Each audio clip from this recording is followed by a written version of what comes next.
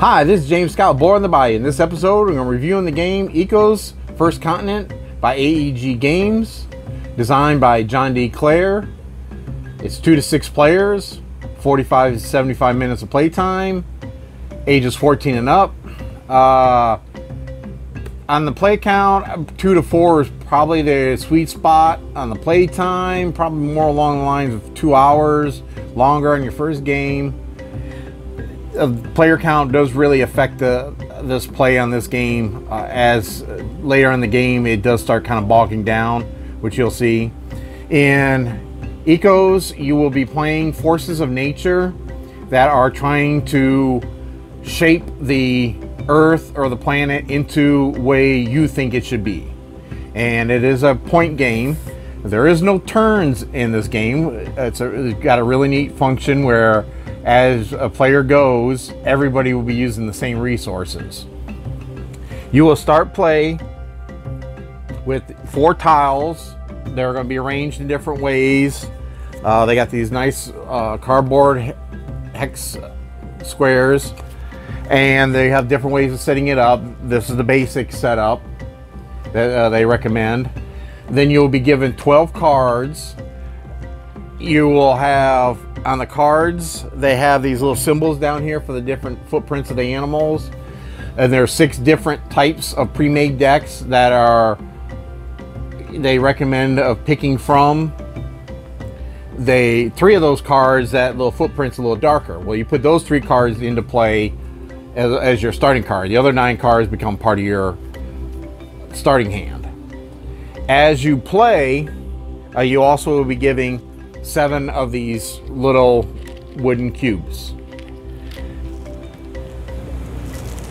It is a point track game, and there is a point tracker, and it's one of the one of the nice little features on the game. I, I do like uh, some of the little touches they did. Is you have on one side you have your your score, and if you flip it over, if you prefer the serpentine style, they got the serpentine score. I mean, I, I like that. You might as well use the back uh, back of the board.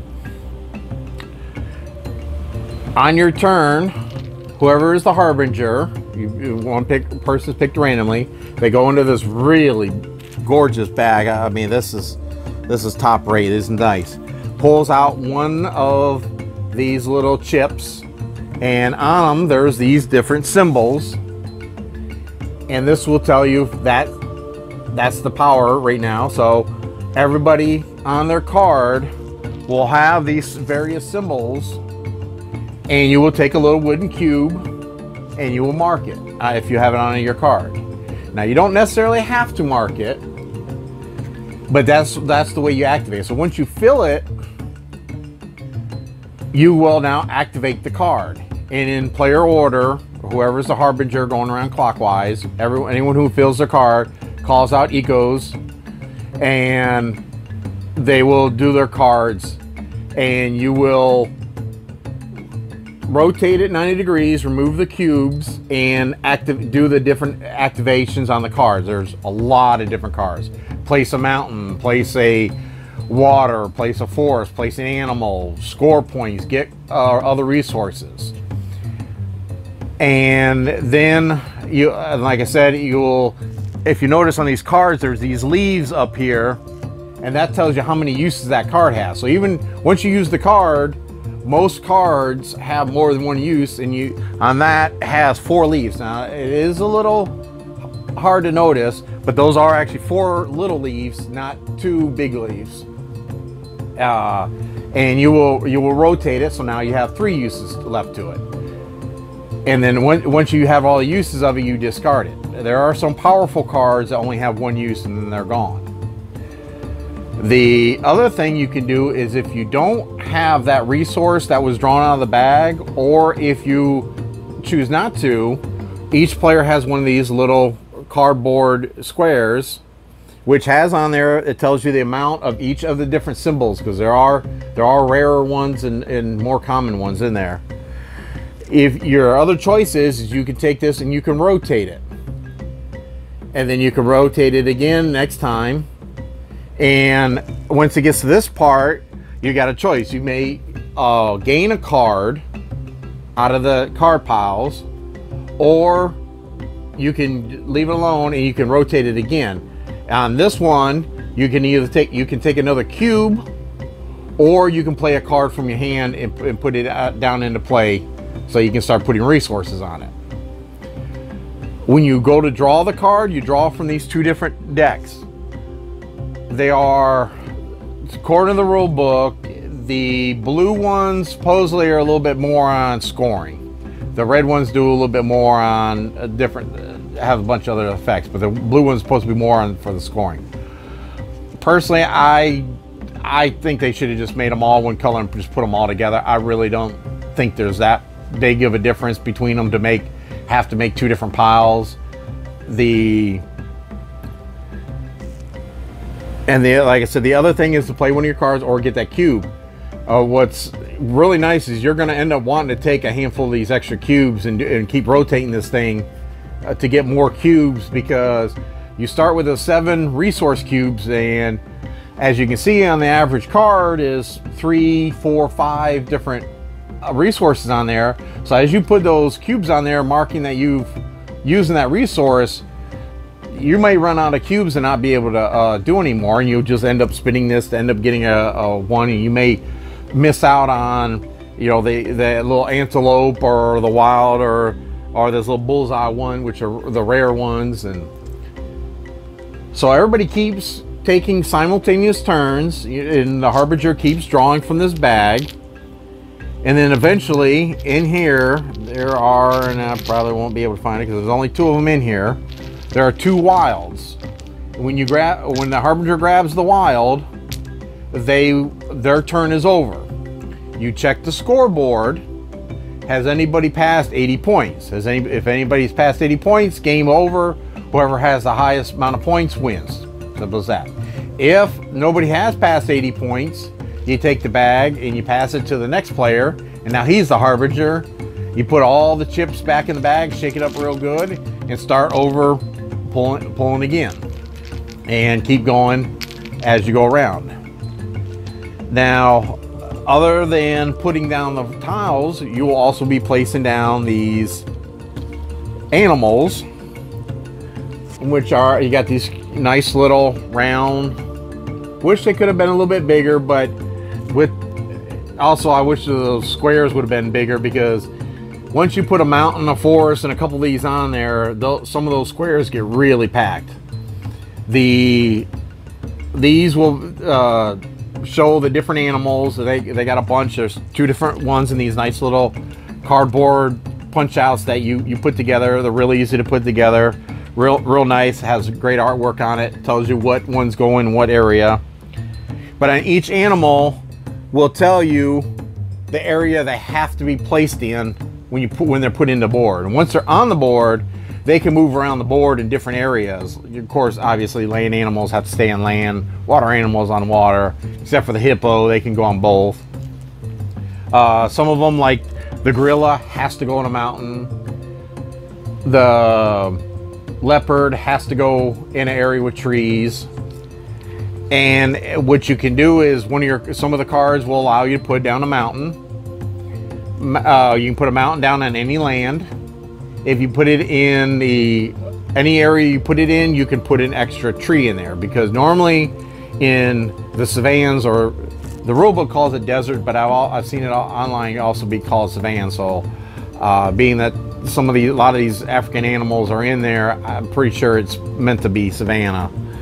Uh, but the some of the animals, I'm sorry, when you go to put the mountains in you can put on any land. Whenever you put a forest down, it can only go in a grassland.